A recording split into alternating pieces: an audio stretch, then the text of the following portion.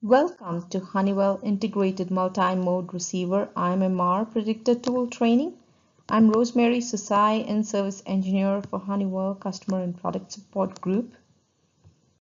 Just a reminder that this presentation is Honeywell proprietary information and is subject to export restrictions. Before we proceed on how to get access and benefit using this tool, I would like to brief upon IMMR sustained GPS outage issue for which this tool has been launched. Since May 28, Honeywell received reports from airline operators wherein one or both the IMMRs were unable to output a valid GPS solution for an extended period of time. And these outages were occurring in different regions at different time periods and occurring both on ground and in flight. Most of the reports have known to be during initial power-up of the day and the IMMRs, either one or both the IMMRs could be affected by this issue. The outage could last from anywhere between a few minutes up to three hours or so. And at the end of the outage period, a valid GPS output is automatically restored without any crew or maintenance action. You might be wondering how this tool can benefit you. So we have a few questions answered for you. Why is this tool necessary? Earlier to this, we gave you a brief description of IMMR sustained GPS outage issue, and this tool can assist you in flight schedule planning if your fleet is impacted with this particular issue. Who can access it?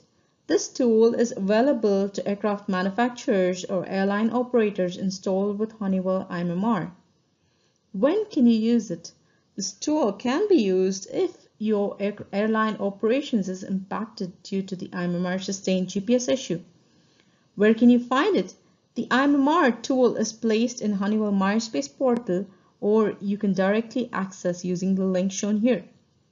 How do you use it? Log in to the link shown here, add the required data and submit your request. The IMMR predictor tool will plot a graph over time and date with probable outage, possible outage, and no outage.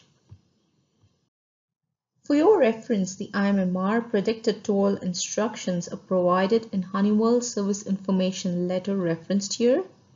Now let's begin with login instructions. Go to the tool link that's shown on the screen and click login. Please note that we do recommend you to use Google Chrome as your default settings for tool usage. Now add in your Honeywell My Aerospace login credentials as username or email address and your password and click sign in. If you're not an existing My Aerospace account user, please request access by clicking create an account. An account registration form as displayed here will be shown on screen. Add in your first name, your last name, your company email address and a password. We do recommend that you access this tool using your company email address only. Then click on I'm at least 18 years old and register. A validation code will be sent to your email address. When you register an activate account tab would open, add in the validation code that was sent to your email address and create account. If you're unsuccessful in adding the validation code within 15 minutes, then please do resend validation code and add in the new validation code to create an account. An account activation tab will pop up. Click on OK. It takes up to 24 hours for your account to get activated. And after 24 hours, you should be able to sign in using your email address and password. If after 24 hours you're unable to sign in, please do contact the email address shown here.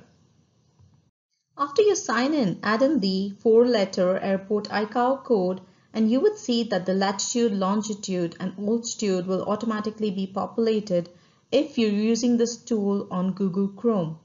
And for destinations other than airport, you can add in the latitude, longitude and altitude information as required. Then you select the start date and the number of days. Note that the number of days here available is 30 days, but the predictions might not be accurate for dates later than 7 days from today so please do generate a report closer to the date under consideration, then click on Submit. Predictions will be plotted over time and date indicating probable outage, possible outage, no outage as visible on screen here. You can click on the Export tab and the data will be extracted to an Excel file that can be printed to a PDF for use. How do you use the data supplied by the IMMR predictor tool? As indicated, a red is for stop, a yellow is to exercise caution, and a green is good to go. A red indicated probable outage. You can expect a likely IMMR GPS outage to occur and the outage could last until the time that the tool indicates a probable outage. Power cycling is very unlikely to resolve the outage. And please do note that if your IMMR has an existing valid GPS solution, cycling power may lead to a GPS outage. A yellow indicated possible outage would mean that it is likely that an IMMR GPS outage could occur shortly. Power cycling could possibly reset IMMR and bring back GPS functionality. If the GPS outage is reported during the possible outage window, cycling CB could likely resolve the outage. Please note to avoid repetitive power cycling if the outage does not self-resolve.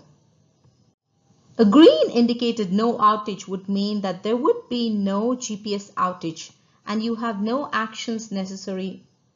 A Powering up of IMMR prior to the probable outage window will allow the system to obtain a valid GPS solution. For any questions or feedback about this presentation, please do email to rosemarysosai at honeywell.com. Thank you.